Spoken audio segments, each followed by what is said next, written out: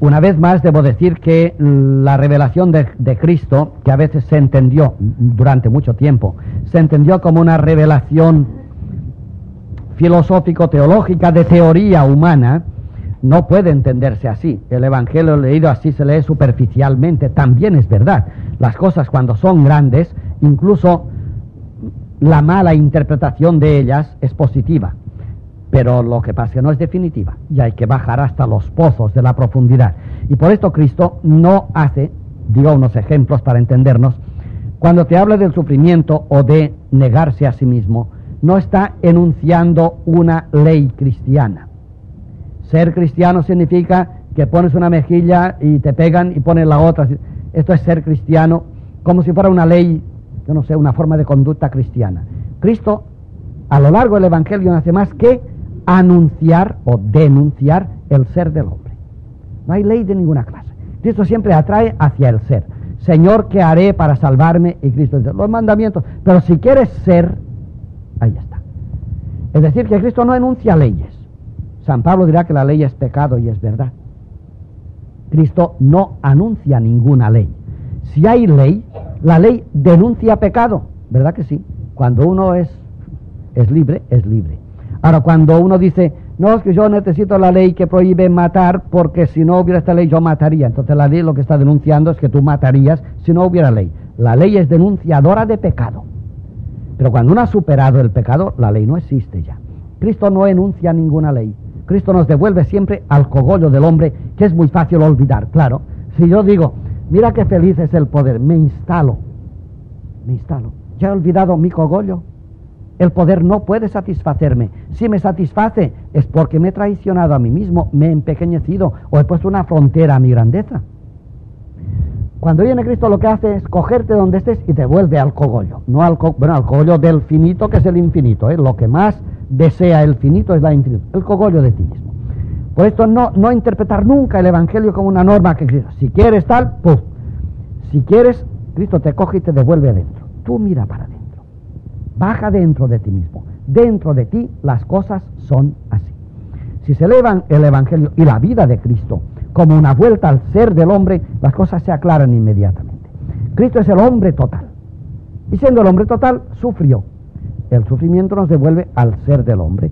Si Cristo hubiese sido hombre perfecto sin sufrimiento, significaría que se puede ser perfecto sin sufrimiento.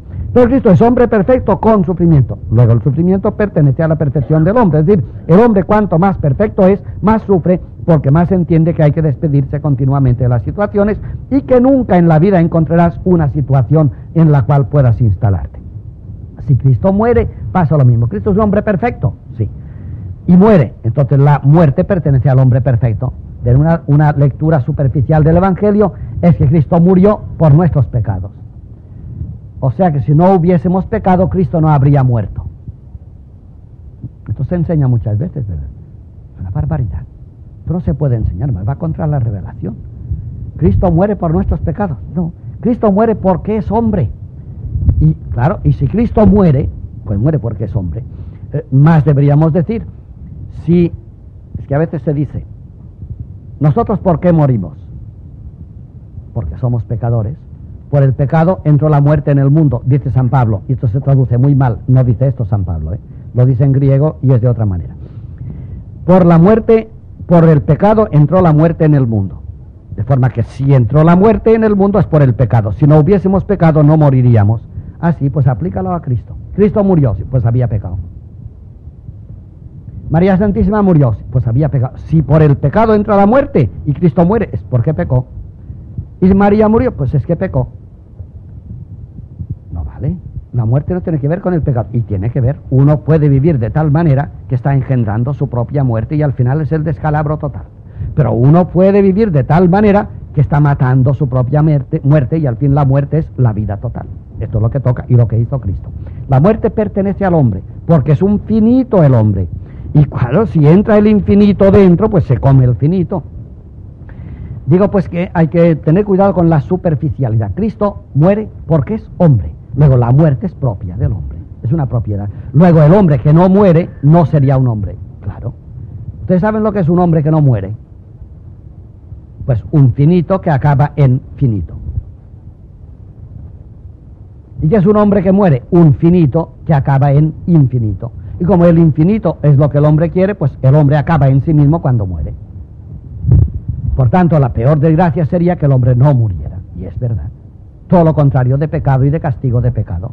La peor desgracia sería, claro, morir. Vivir es estar en tiempo y espacio. Existencialismo. Vivir es estar en tiempo y espacio, es decir, en la finitud. Si yo no muero, pues me quedo en la finitud.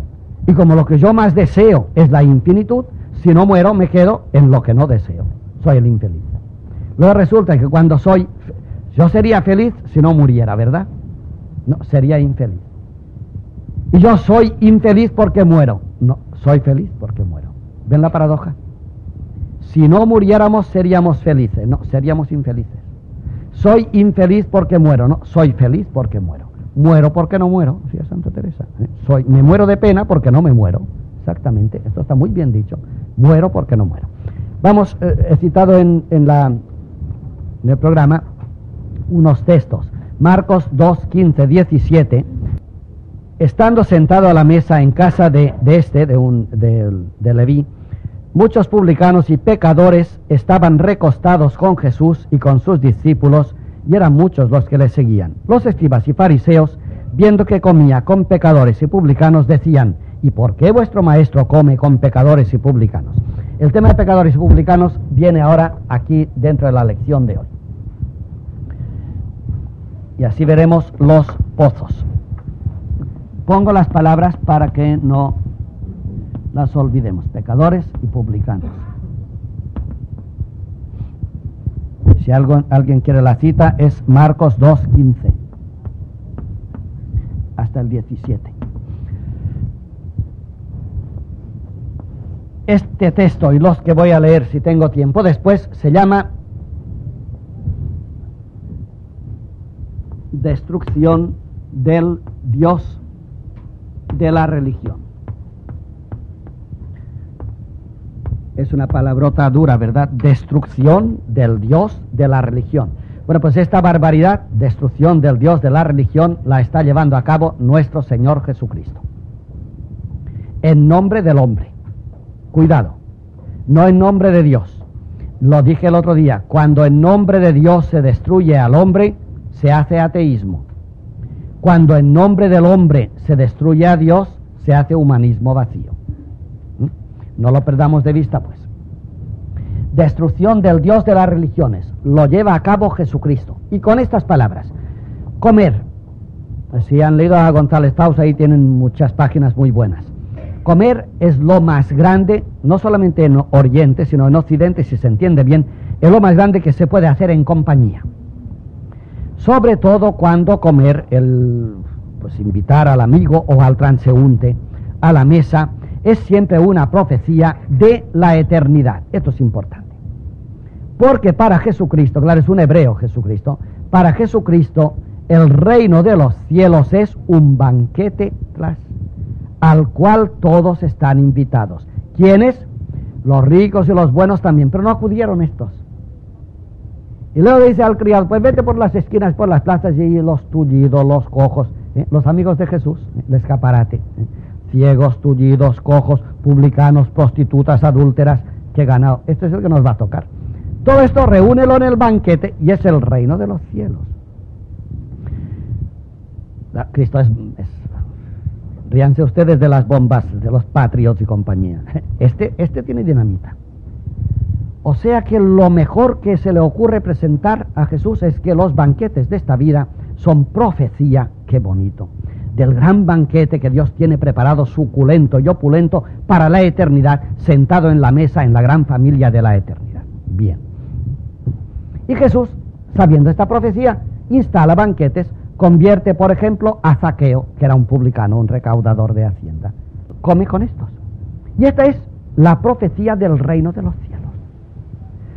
Cabría preguntar, y no es el caso, y, por qué cuando Jesús habla del banquete del cielo dice que llama a todo el mundo, y uno que había comprado una hacienda, otro que se había casado, ¿qué tal? Se excusaron todos, los instalados.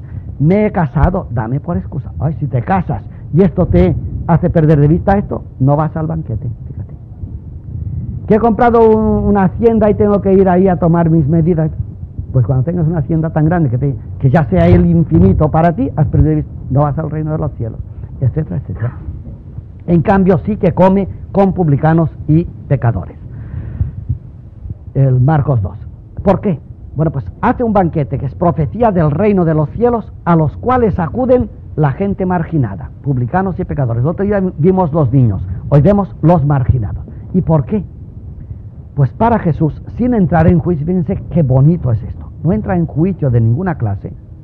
El hecho de ser marginado es más presencia de Dios que el hecho de no ser marginado.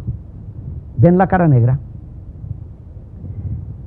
Un pecador, un pecador sin juzgar, cada uno sabrá, pero el hecho de ser pecador es cara negra de Dios. ¿Y por qué Dios permite el pecado? ¿Y por, Dios, por qué Dios ha permitido que yo haga esta barbaridad? ¿Y por qué Dios ha permitido que yo durante 20 años me moviera en el, en el lodo, como San Agustín, por ejemplo? Pues si te paras ahí no verás nada. Pero en eso que no entiendes hay un pozo, es un designio de Dios. Es decir, que revolcarse en el barro puede ser muy bueno. Esto se llama cerdo, pero es igual. Puede ser muy bueno. Sí, sí. Esta es la intención justa de Jesús. Y por esto digo que es, si hablamos en religión, pero vamos a ver, Dios puede permitir el pecado. No, Jesús dice, está dinamitando al Dios de la religión. El Dios de las religiones no permite el pecado, el de Cristo sí. Más todavía. Cuando un pastor tiene 100 ovejas y una se hace la negra, que lo es de verdad, este pastor, que es Dios, contra las religiones, ¿qué hacen cuando hay una oveja negra? La cogen aquí por arriba para no ensuciarse, la echan fuera. Eso se llama excomulgar. Sí, excomulgar. fuera. ¿Por qué? Pues apesta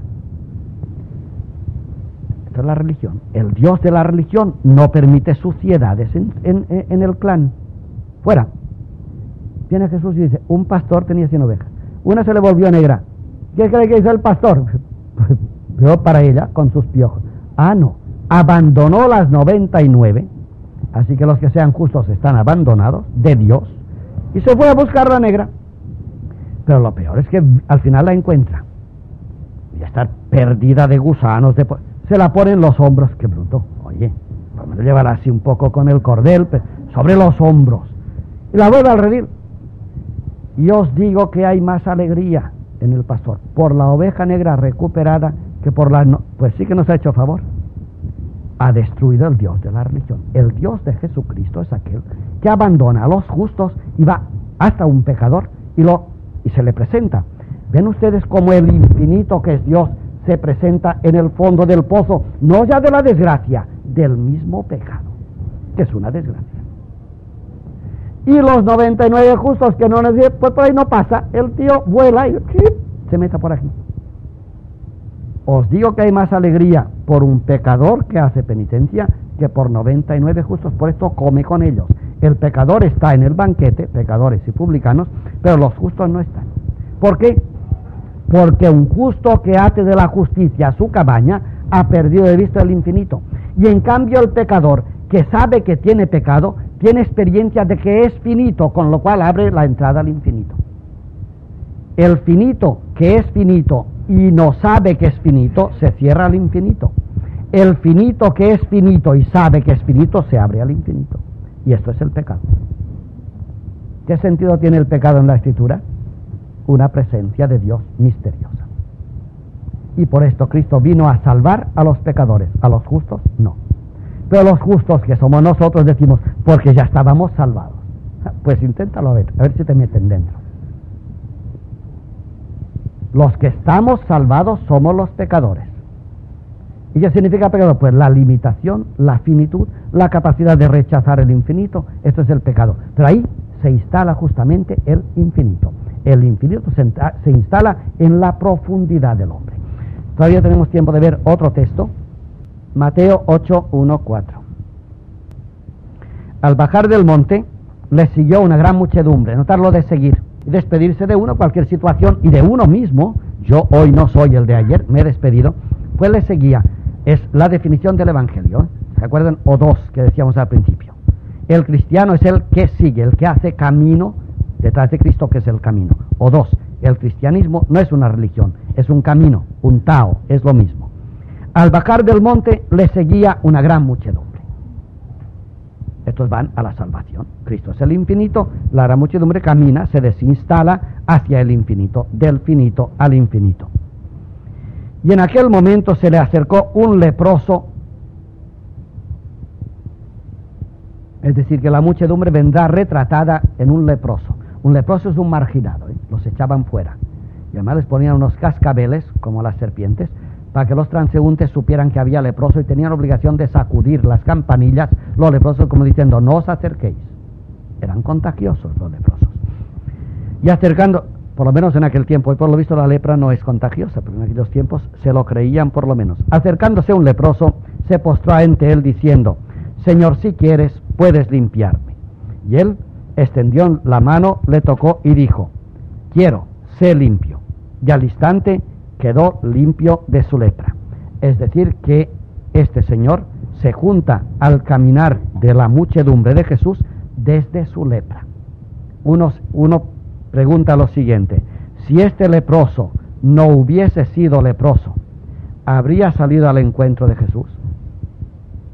Si no hubiese sido leproso, habría caído de rodillas con una oración, Señor, si quieres, puedes limpiarme. Los no leprosos de aquel tiempo hicieron una oración tan hermosa. Y tercero, y si no hubiese sido leproso, ¿de qué le habría curado Jesús? No habría hecho el milagro. Luego el milagro de Jesús se hace sobre la lepra. Y la lepra era marginada por la religión judaica. Y la lepra es marginada por la religión cristiana, evidentemente. Bueno, aquí he puesto muchos, muchísimos ejemplos. Voy a leer el último. Juan 4.1. Así pues, se supo que así pues que supo el Señor que habían oído los fariseos cómo Jesús hacía más discípulos y bautizaba más que Juan, aunque Jesús mismo no bautizaba, sino sus discípulos, abandonó Judea y partió para Galilea. Tenía que pasar por Samaria, etc. Los fariseos esto es importante, son los santos de la religión judaica. Para San Juan, bueno, para los demás evangelistas también, los fariseos son aquellos que tienen tal experiencia de Dios que saben quiénes tienen experiencia de Dios. Los fariseos son los especialistas santos del Antiguo Testamento. Pues bien, los fariseos a partir de este momento siempre están tratando a Jesús como enemigo y además le ponen trampas continuamente. Traducción directa de San Juan. Los que ponen trampas al caminar del hombre hacia Dios son los que creen en Dios. Si hace falta que lo traduzca es que no hemos entendido bien la lección de hoy. El, finito camina hacia el infinito. El que pone trampas al finito para que no llegue al infinito es el que cree en Dios. El que cree en Dios es el que no cree, claro, está, la paradoja. Los fariseos, aquellos que saben quién es Dios y cómo funciona Dios, están poniendo trampas al caminar del hombre hacia Dios, del finito al infinito. ¿Y por qué? Porque saben quién es Dios. Es decir, porque ellos están instalados en la religión. La religión, en la religión no sabemos quién es Dios. Y no sabemos quién camina y quién no camina. Y quién es pecador y quién es justo. No lo sabemos en la religión. Sí, ¿verdad? Pues ponemos trampas al caminar del hombre hacia Dios. Cristo que dinamita otra vez la religión. No se sabe cuándo el hombre camina. Cuando el hombre peca, puede estar caminando hacia Dios. Y cuando el hombre no peca, puede engreírse en su justicia y ponerle dificultades a su propio caminar del hombre hacia Dios. Y aquí la enemistad de los fariseos contra Jesús.